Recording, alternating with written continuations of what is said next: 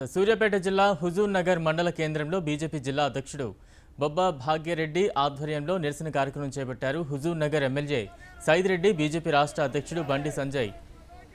విమర్శించడం సిగ్గుచేటని అన్నారు.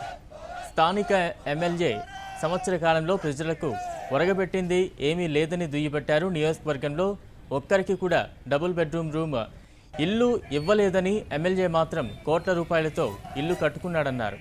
ప్రధాని మోదీ విడుదల చేసిన నిధులతో చేసిన అభివృద్ధి తప్ప ఎమ్మెల్యే చేసిందేమీ లేదని అన్నారు.